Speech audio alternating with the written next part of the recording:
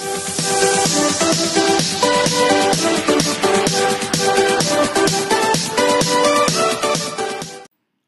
is up guys, Sadna Plays and Predicts and welcome back to another FPL video. And if you enjoy my content, please hit that subscribe button because if I'm being honest with you, I wasn't in the mood of making this video. Not obviously because of the content itself, because you can tell by my FPL points I managed to get 32 points. And let's check, let's just double check the average. The average was 48. 12 points below the average. This was probably my worst FPL game week in my whole life. I've been playing FPL for maybe four years now. This was my worst one. So you can tell that I wasn't, I was the least excited for this. Especially because I have the one year I get my worst score, I have to upload it to YouTube and talk about. But you know what? I, I gotta still explain to you guys because believe it or not, my FPL videos are actually the most popular, like in terms of views. Like categories, you know what I mean? Like my FIFA videos, my game week prediction videos, my Fall Guy videos, FPL videos. FPL videos get the most views, so I still gotta produce quality content, and I will still do that. Doesn't mean we have one bad game week. I'll explain to you not what not to do. So I mean, I'm saying the same thing as last week. uh, what went wrong? So I'm just gonna say like this. Let's get into our what went wrong. Our WWWs, our three Ws. Someone going had Mat Ryan. Man, I was so annoyed with this. Brighton were so close to a clean sheet. Let me check the minute West Brom scored. I promise it was it wasn't even it was very late, I'm sure. I checked my phone, I was pissed. Let me just find the game. Um it was 1-1 that game, no bonus points sadly. Mat Ryan still yet to keep a clean sheet since that West Ham game. That is annoying. Yes, they conceded, they didn't they? Brighton was 83rd minute, they managed to concede to a Grant. I don't know how to pronounce his name. It's probably Grant, but who cares? Who cares? And that was mad annoying because, as I said before, it was he's only kept one clean sheet this whole season. I thought I had like a proper goalkeeper differential in terms like people had maybe Nick Pope, McCarthy. Um, I don't know how to pronounce his name either, but MacArthur is I got. He's kept three out of four clean sheets, so that's maybe one I want to look at. But I'm gonna stick with Ryan for now, and even though he has Spurs next, I don't want to waste a transfer on a 4.5 goalie. 4.5 get me two points. I guess I'm happy. I mean, against Spurs, obviously, not against West Brom. Um, another one I'm pissed off, Mitchell. They managed to, cons- I'm gonna speak for these two, to these two Crystal Palace, Townsend Mitchell. Last minute, I thought I had the clean sheet for sure. So they went 2 0 up. Fulham got a red card, 90 5th minute, they managed to score a banger from like half court. I was so annoyed, that denied me. Potentially some Mitchell bonus points, maybe 7 they denied me maybe 10 points from those players. I ended up getting 4. Denied me 10. Maybe more from Mitchell if he decided to get more bonus points. And Townsend failed to get anything again. But I will keep him because I don't know. I have other tra- good transfers in mind. Plus, who wouldn't mind a bit of Friday night football? If you guys didn't know, there's some more Friday. There's Friday night football today. We have Wolves Crystal Palace. So I'll be excited for that one, especially because I have two Palace assets in my team. Uh, but let's go back to the um, defenders. Digne, another one. I think it was a bit unfair for the red card. Very unfair. It wasn't a red card for sure. It wasn't a red card. He managed to get minus two. Not more I can say there probably gonna get removed off the team. But just saying, guys, I removed Digne off my team because I thought he wouldn't play for three game weeks straight. Turns out it's been reduced to one game, but that was yesterday night, so I didn't really know. I made my transfer as soon as he got a red. I was kind of pissed. Bellerin, one point again, very, very pissed. He could have scored a goal, actually, I swear um, uh, David Luiz played the ball and he was right in front of the keeper, but he couldn't get his footing. And Johnny Evans came with like a Van Dijk tackle and like pushed the, ball off him. He was right in front of the keeper with like a volley. If you guys saw that game, I was so and he had oh and he had another one. Aubameyang crossed the ball into him. He had a volley. That's what Michael said. So Bellerin could have scored in two occasions. So I'm keeping him. I'm keeping him. Um, Barnes. Can't say I wasn't like expecting it. I mean, I didn't. I was. He was playing my team Arsenal. He he he barely even touched the ball. Like I, I don't know what to say about Barnes. It's like watching a four-year-old play football because a four-year-old wouldn't touch the ball either. Barnes didn't touch the ball either. So what's the point in Barnes? And I mean, I meant to benefit you guys also, not just rant about my team. So I'd say if anyone wants to get Barnes, actually let me change my mind about he could potentially get points. He has easy fixtures coming, so I would say maybe. I, I want to say he's one to look at for a differential. Neither is the person next to him Townsend.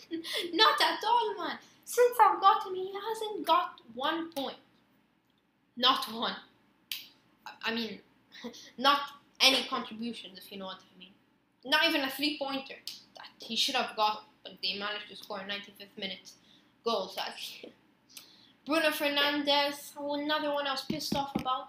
Barely had anything in the game. He had like that pass to Marcus Rashford, could have gotten an assist, but Mendy came with that brilliant save, so not much to say there either. He's playing Arsenal next game, which is uh, very annoying because I don't like players playing against my team that I support because I I want to get more FPL points, you know what I mean? But it's so annoying when I have an FPL player from the other team and my team is playing. I want I'm gonna keep Bruno Fernandes. I'm just I don't want to spoil anything, but I'm gonna keep him.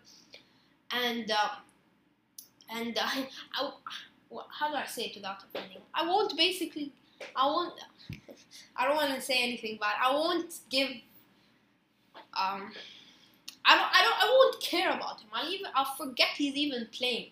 That's the point of it. So come next week, I will have nothing to say about Bruno Fernandes. Score, assist, blank.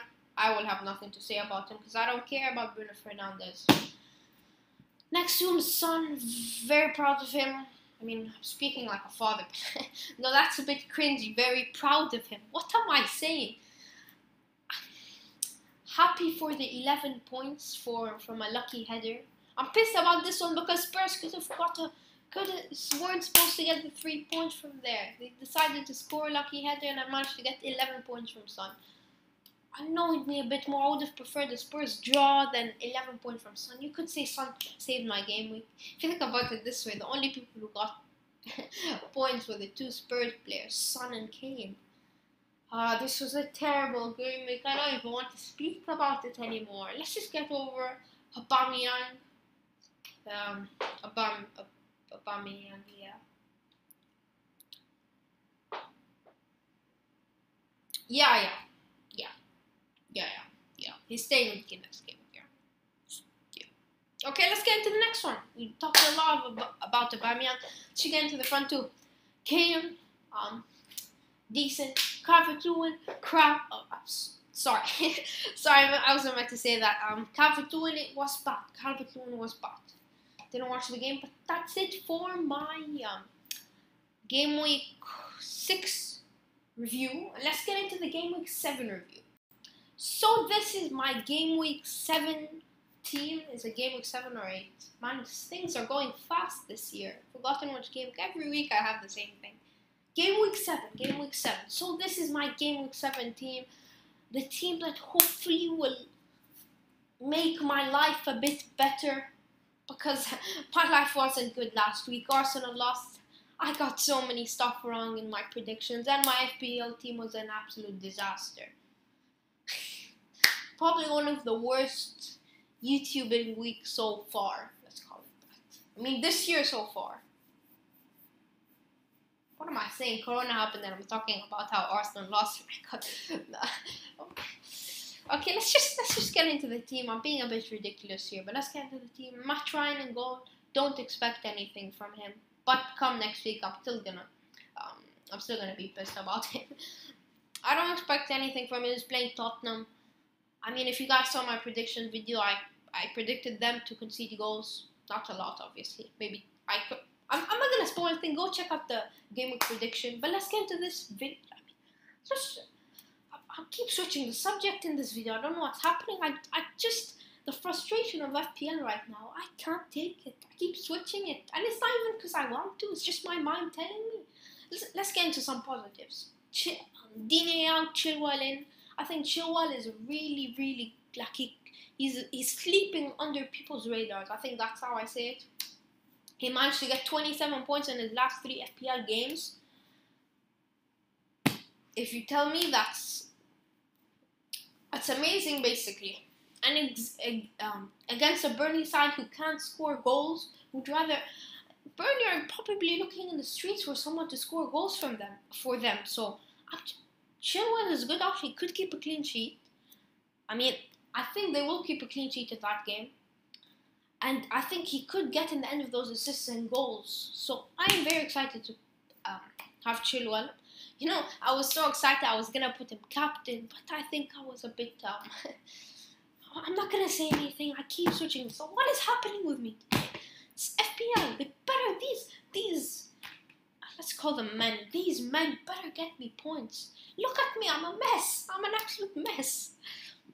Bellerin, Man United away. Can Bellerin finally get a goal? I mean, call a goal. I mean, if he gets an assist, I'll be mad happy. If he gets a goal, I'll be mad happy. Clean sheet, mad happy. So I think Bellerin is a very good option. It's one sleeping under people's radars as well. Mitchell, clean sheet, please. Points, assists, something from you, Mitchell, please. This is a differential. Barnes again, please, something from you. I need something from Barnes. Townsend, I need something from Townsend as well. I think that Townsend and Barnes aren't really like this. Like I wouldn't rec- recommend it for for anyone to get them because they obviously they obviously haven't been getting points. But things can change. Things can change quickly. If you're telling me to look around those, if you wanna differential around those prices, I'll try to find someone for you around because it's also about benefiting you guys. Let's see. So, if you want to get somewhere, you could get Zaha. He's the man on five, but I wouldn't recommend to get him because if you're looking for a differential, as I said, you could probably get. There's Mason Mount. I don't think he will start, even though the media is over exaggerating with him and Lampard's relationship. I think um, there aren't really big options. Ross Barkley, he is one that you guys should get. I was thinking about getting him, but I don't really have the. If Benrahma breaks into West Ham side, I think he'll be a very good option. If West, if Benrahma breaks into West Ham side in the next few weeks, I'm gonna get him in straight away. I admire Benrahma as a player a lot. He is a very, very good player. I mean, I only watched him play two, uh, three times, but he was a quality player when I watched him those three times. So I would recommend getting him when he gets back on form. There's Trossard. Trossard is a very good one as well.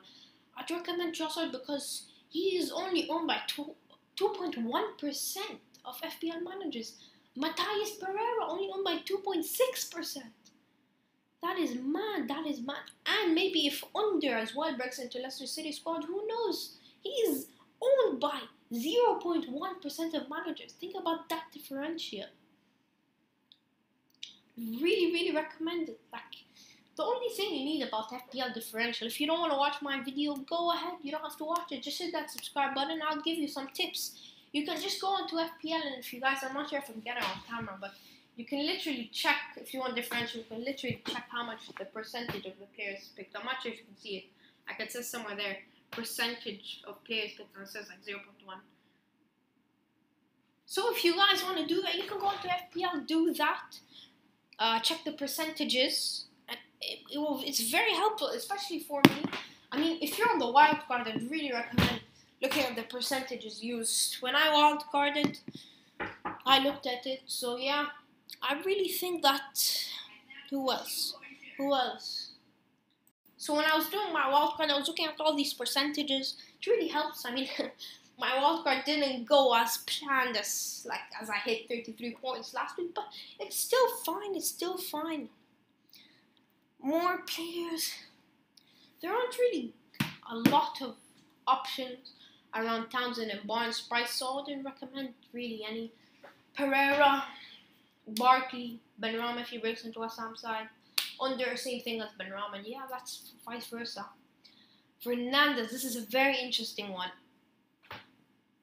sorry, Fernandes because obviously he's playing my team also. I said I wouldn't focus on him at all, but maybe, maybe potentially looking to swap out Fernandes for Rashford. Rashford is a big different differential at his price.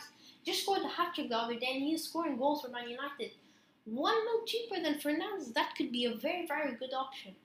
But I haven't said that is the right option. I just said he could be a very, very good option. Son, everyone has him right now. It doesn't really make a difference at all. Aubameyang, Aubameyang could be a differential if he starts bang on goals. He's a big differential because you need to remember it isn't easy to transfer these big players in as soon as they hit form. You know what I mean? Aubameyang scores against United. There's gonna be some big differentials for who people who trusted Aubameyang. I mean, I'm sure the only people who have Aubameyang in their squad now are Arsenal fans. I'm calling it from now. I am sure, 100% sure. If you're not an Arsenal fan, you don't have Aubameyang in your squad. But if he hits form, he scores some goals, all of you guys are screwed and uh, us Arsenal fans. So there's some advantages coming from Aubameyang. That's why I will keep him. And I cannot have Arsenal's best player not in my FPL team. I'm being a bit biased in FPL, which is not working to my advantage so far. So far. The two up top, the two Englishmen, Kane, Calvert-Lewin, both of them expected to score. Really, I really expect both of them to score. As you saw in my game week five predictions, I think I actually said I was to move Kane for Werner. That didn't work out because Dean got sent off. So Dean, screw you, Dean. I could have got Werner in by now. But it's it's fine. I think Kane will receive points, but he isn't a differential as Werner because I don't think many people have Werner. So Werner next week, most probably. If no one decides to get a red card this week. But that is it for this video. If you guys enjoyed this video, please hit that subscribe button. Yeah, that's it. Now plays and predicts out.